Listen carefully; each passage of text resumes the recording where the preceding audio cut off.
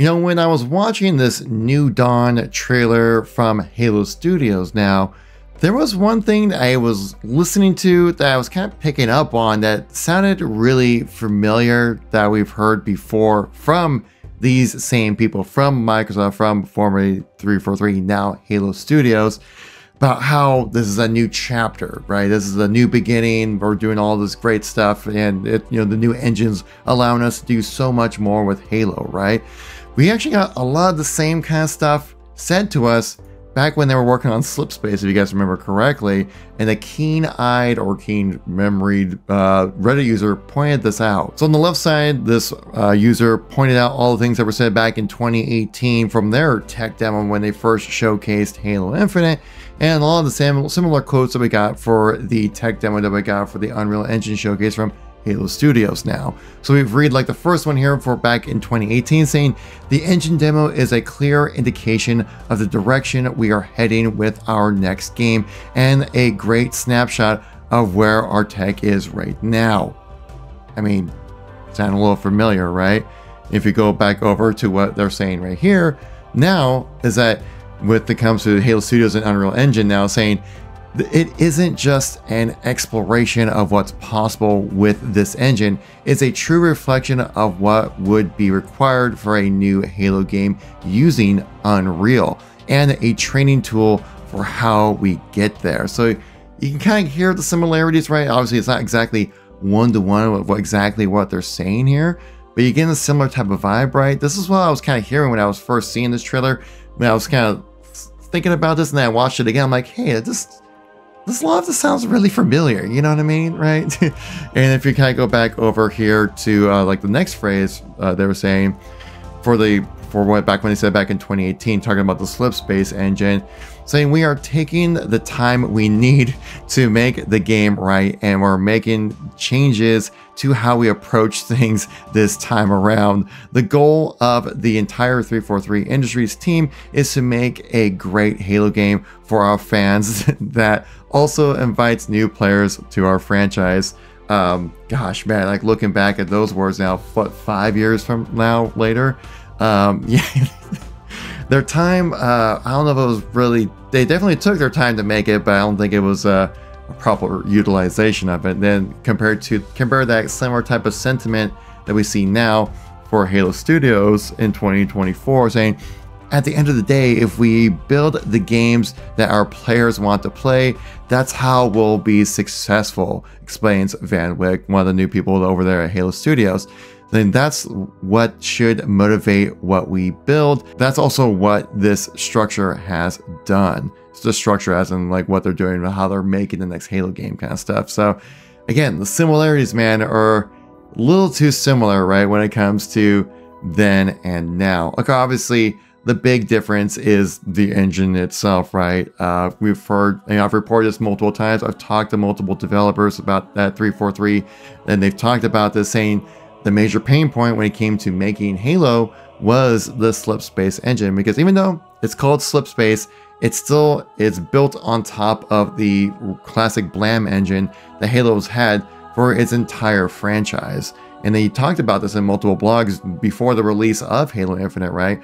Where they were saying how uh, they were finding all this old code that was just kind of buried within the systems, like way, way, way back then, like 20 years ago, and reworking them for the live service new uh, open world Halo game that they were making at the time. Uh, you know, obviously they're to try to gas it up as much as they can to try to make it like we know what we're doing and all that kind of stuff. But the thing is that the, the major difference, obviously, is that Unreal, we all know that it, it just works, right? It's a industry standard. So many games are being built on it right now. Unreal is an engine that has been, you know, been the basis for so many classic franchises out there to take advantage of. And so this is what this new uh, tool set, this new uh, uh, uh engine, I'm sorry, of uh, Unreal Engine definitely just gives the developers the ability to just start get in there and start digging in and start making some content, right? because that's the biggest thing that we, you know, us Halo players have been so sorely missing is just like stuff to do with Halo. We love Halo. We want to keep playing it. But the thing is that like the development of it is so has been so slow and it's taking you know forever for them just to get the game up and running and then having the game go live before it was ready to go live just kind of made that transition or those updates go even slower right? But hey the game needed to get out. It was gonna release at some time. We can't wait seven years between halo titles right? So i think that's kind of like why Infinite released in the state that it did because they just kind of viewed like, hey man, there's so much more work we need to do. It's never going to be where we need to be. Just put it out there and we'll make it work somehow, you know? So I think that's kind of what they decided to do with uh, Infinite right there. But if we kind of go back to the last quote for the similarities here between the Slip Space engine and Unreal, and we go back over to the screen here for you guys.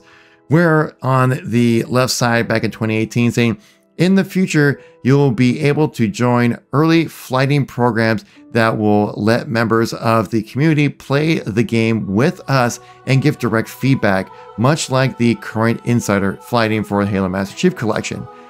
Fast forward five years later, or, six, or is it technically six years? Yeah, I think it's technically six years, right? But oh my god, we've been talking about Halo for way too long on this channel. They said we're seeking earlier and earlier, wider and wider feedback from our players. She continues as in Van Wyck. Uh, we started that with the Master Chief Collection and carried that forward to Halo Infinite, and we want to do it even more with our next project. So, I mean, yeah, like repeating the same kind of thing again, but the whole point of having like this early access process when it came to especially flighting was to give actual feedback and you know give the developers time to update the game so when a game does fully release that it's ready to go. But clearly, we did not exact. Clearly, we didn't get that with Halo Infinite, right? Uh, from someone who played all the flights for Infinite back in the day, uh, it felt like a lot of it was more just like minor tweaking kind of things. Nothing that was really that significant. Like we would point out like glaring flaws, like something's overpowered or things are not quite balanced or this thing's kind of broken. Uh, 3 was just kind of like, well, we, hey, it's we are where we are right now. I think it felt like most of those flights were just kind of making sure is the game broken? Is it not broken? Then we can release it. If it is broken, at least have, at least have enough information to go into like what's causing the breaks to happen. That's really what the flighting program really, really kind of felt like. Yeah, like yeah, there were some minor changes here and there that have been made, which were significant enough to the gameplay.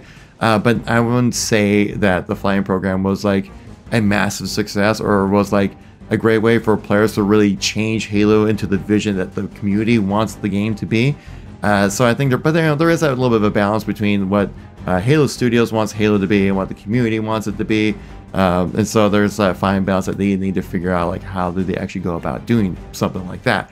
Um, and so, I mean, I'll be there. I'll be ready. If there's a flighting program for whatever next Halo project is, uh, I will definitely be there, jumping in and playing it as soon as it does go live. Uh, but guys, again, if you guys made it this far in the video, make sure to leave a green heart. Let me know who the real ones are out there. If you enjoyed the video, make sure to tap like and subscribe. Guys, we have so much Halo stuff going on right now. We're going to be talking a lot about it, with all, what's, what's coming up next, and what to look forward to when it comes to Halo. So if you guys like this type of videos, I really appreciate it. Thank you all for watching. Catch all these videos if you missed anything from me recently. I'll catch you all in the next one. Peace out.